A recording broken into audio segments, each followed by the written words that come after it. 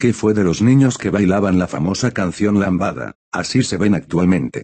La lambada es una de las canciones más populares de todos los tiempos, y no es para menos. Rara es la persona que no tiene su melodía en la mente, aparte de eso las personas nacidas en los 70 y 80 la recordarán con gran felicidad por bailarla en las discotecas de su ciudad. ¿De qué iba la canción? Comenzaremos hablando del grupo que la interpreta, nada menos que los brasileños de Kaoma. Estas personas decidieron versionar la canción Llorando se fue, adaptándola a su propio estilo musical. Este tema se convirtió en el éxito del año 1989, siendo la canción más escuchada incluso en varios países europeos. ¿A qué se debió su gran éxito? Aparte de su ritmo tuvo gran influencia el baile que la acompañaba. A los que le encantan los bailes sensuales y pegados estaban siempre deseando que la pusieran por los altavoces, ya que era el momento ideal para acercarse a una chica del local y comenzar a cortejarla. Veamos a continuación qué sucedió con los protagonistas de esta canción. Los que hayan visto el videoclip de la lambada conocerán de primera mano de qué va la canción. Sin embargo, es posible que los más jóvenes desconozcan por completo esta historia,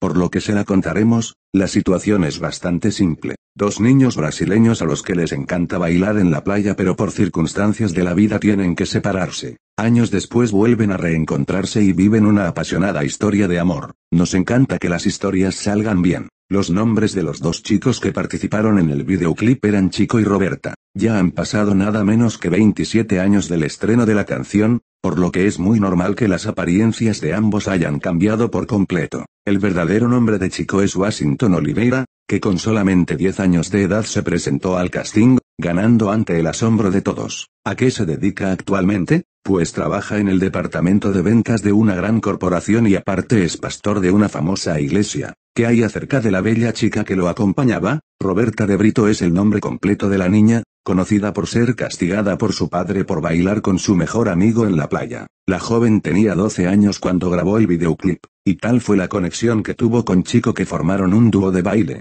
Sin embargo la cosa no fue bien con algún sector del público y tuvieron que romper el grupo. Recientemente Roberta reside en Brasilia y regenta una pequeña clínica veterinaria. Nos alegramos mucho de que las cosas les hayan ido bien a ambos niños. Comparte este video en tus redes sociales y suscríbete al canal Videos del Momento.